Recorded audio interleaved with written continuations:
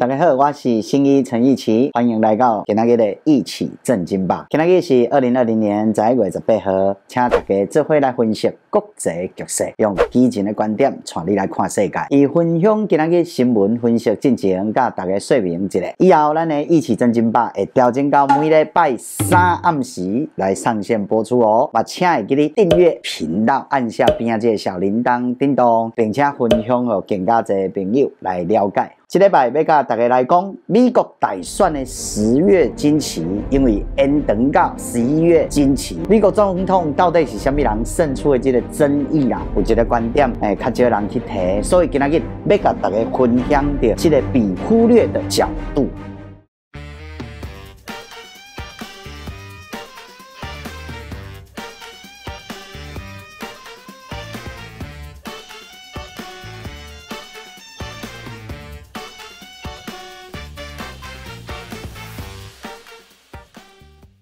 今天的分享呢，基本上比较较知识性比较深入一点。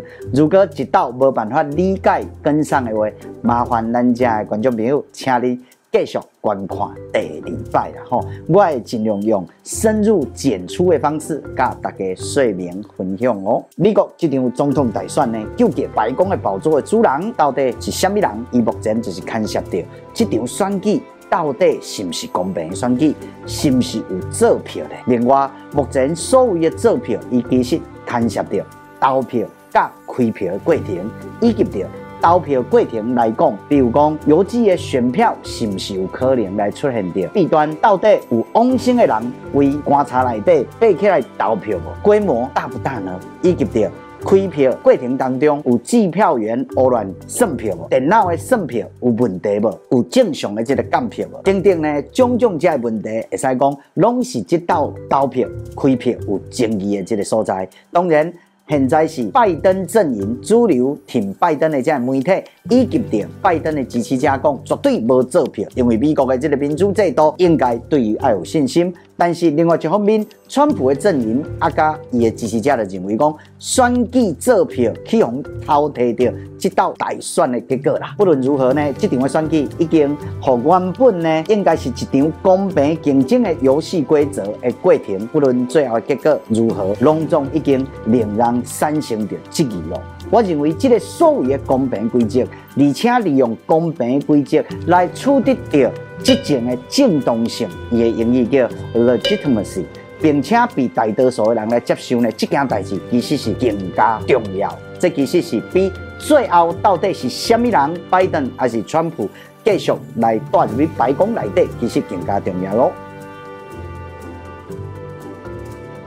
咱的观众朋友有听过美国例外论无？伊的英语叫做 American Exceptionalism。其实呢，这个名词上早啦吼，开始提出的是一个德国的学者，以一九零六年出版一本册，德国的德语的册，叫做《为什么美国无社会主义》这本册。后来呢，伊翻译成各国的这个语言，这个学者叫做松巴三巴特的对啊吼。三巴特以这个问题核心啦吼，就是来讲为什么？欧洲有浓好的这个社会主义的思潮，甲做成果，但是欧洲这种对社会主义追求的心思，与美国亲像就敢若无法度来生根啊！美国较无这个现象。后来呢，这桑巴桑巴特伊提出的问题意识，形成着美国例外论的讨论核心。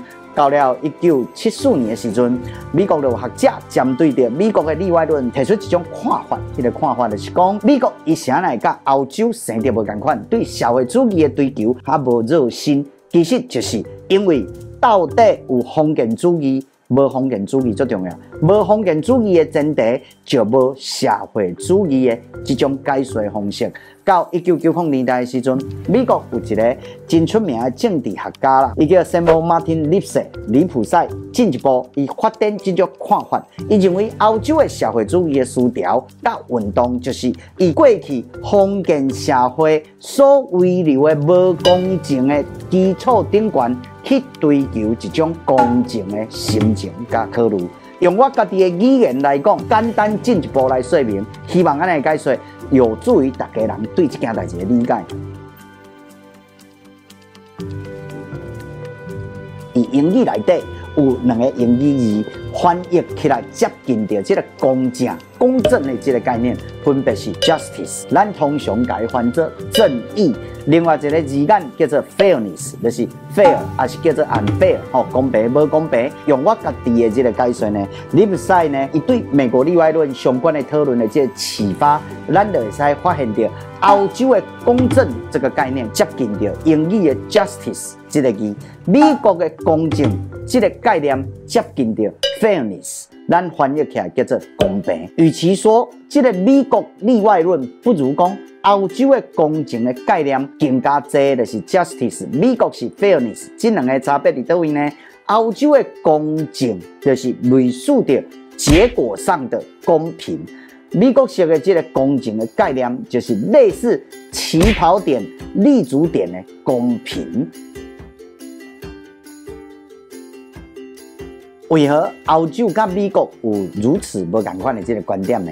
因为呢，以资本主义工业化开始为欧洲要来出世发展进程，其实伊前身就是一个旧的封建社会。以这个欧洲大陆内底这个封建社会当中呢。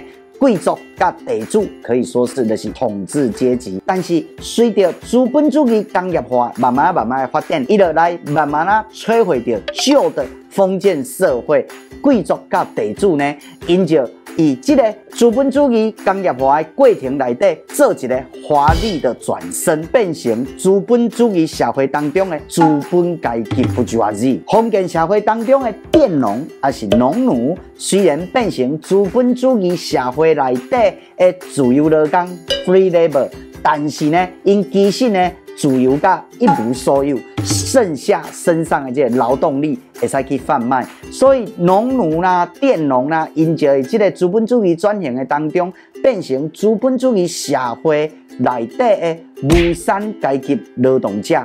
就是咱大意所讲的新罗，用语来讲叫 proletariat，无产阶级也是普罗阶级。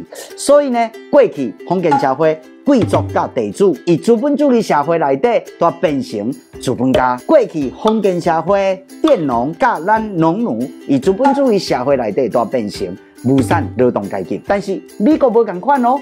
现代美国的出现呢，其实最重要一个时间点，一六二零年九月十六号，有一群这个清教徒，因呢乘着五月花号呢，Mayflower 为英国的德文郡的港湾都市普利茅斯，因来启程往殖民地美国去的对啊，因这群受到宗教迫害的清教徒的农民，因因著名的五月花公约来的，因其实体现了一种。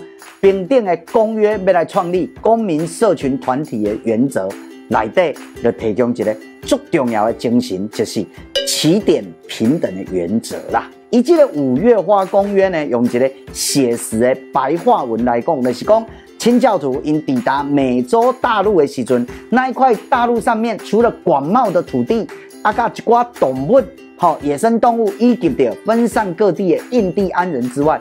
基本上无像欧洲大陆，因有一个不公平的制度遗产，也是讲封建遗产的这样遗留，所以拓荒的美国人一匹马、一条绳子，咻咻咻，哈，土地可以圈坨大，哈，土地的是去努力开拓的人所拥有，所以美国伊甲欧洲就做无同款的，因为一个是在意的。公不公平的前提之下，他们想要把人抬高、垫高，这就是所谓的 justice。美国在也是一个游戏规则、竞技场地的公平原则，就是竞争原则的公平，就是咱的起始点的公平。所以，欧洲十九世纪的市场竞争，就是以专制政治之下来进行。欧洲的工人阶级的政党，就是以争取工人选举民主的斗争过程当中来形成。但是美国不是哦，美国工人最早伊就拥有了选举投票的权利。毕竟，这种投票权利其实就是一种公平游戏规则，就是起跑点平等的观念以来的分析到这。我想要讲的是。公平的游戏规则，还是起跑点的平等，其实是美国之所以为美国，美国甲欧洲无同款的所在，这是不是例外论？可能不重要，但重要的是美国之所以美国的精神。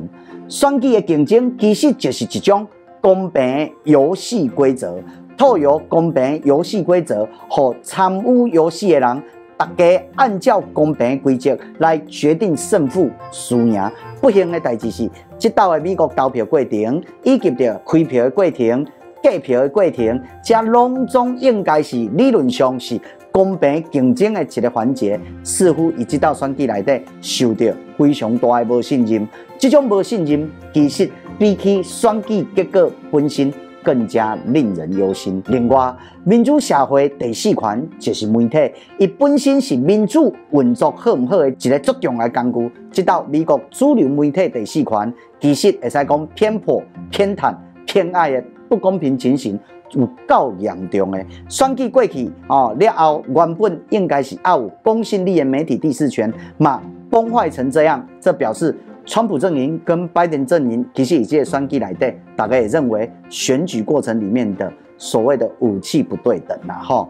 如果公平平等的游戏规则本身已经失去了公信力，人民不再信任的为美国的民主，爱个是原本那种非常特殊、令人兴奋的民主吗？我唔是美国人，我无美国投票权，但是一直到美国总统大选的十月惊奇，延长到十一月惊奇，选举过程充满着使人费解的情形。以我看来，这唔是美国选举胜负的问题，这已经是美国精神当中原本有一种内建，类似于五月花公约来的这个精神公平观起点的平等。这个公平游戏规则，并且利用这一套大家共同遵守的规则约定，如今呢已经失去了公信力。安内美国以这道的选举了，到底会变成什么款呢？这实在是令人非常的忧心呐！如何用更加严格的态度来检验这道的选举，和人民对公平游戏规则会使来恢复信心，其实是挽救着美国精神最重要的方式。但以目前已经党派化到失心疯的主流媒体，啊，还有一寡社群媒体 （social media） 诶，这个吼。失心疯的作为，政治厮杀到这个地步，这状况，一边认为有选举的瑕疵，一边认为选举绝对无可能作弊。面对这种高度分裂的美国，我看不论结果如何，美国真的已经回不到过去的美国了啊！美利坚，别为我哭泣啦！今日就到这，后礼拜同款会和你上最新的国际情势。更加欢迎大家底下来留言，讲讲你想要知影什么款的国际议题，还是对今日的议题有什么款的感受嘛？欢迎留下，一起增进吧。以后拢该每礼拜三暗时九点来准时相见哦。唔通袂记你拜托一个，阮的订阅数拢未成长，明明看你优质的频道，请唔通袂记你订阅我们的频道，分享或者朋友知影。下次见，拜拜。